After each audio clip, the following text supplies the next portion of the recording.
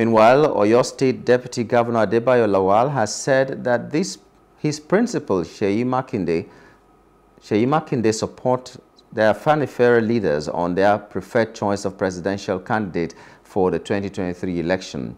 Lawal, who represented Makinde at the meeting between Afenifere leaders and Bola Tinubu, presidential candidate of the All Progressives Congress, APC, in Akure, the state capital of Ondo State, said the Oyo State governor has always been in support of the decisions taken by Afenifere. Meanwhile, Lawal's remarks also come amid the crisis in the People's Democratic Party, PDP, of which he and Makinde are members. Please do subscribe to our YouTube channel and don't forget to hit the notification button so you get notified about fresh news updates.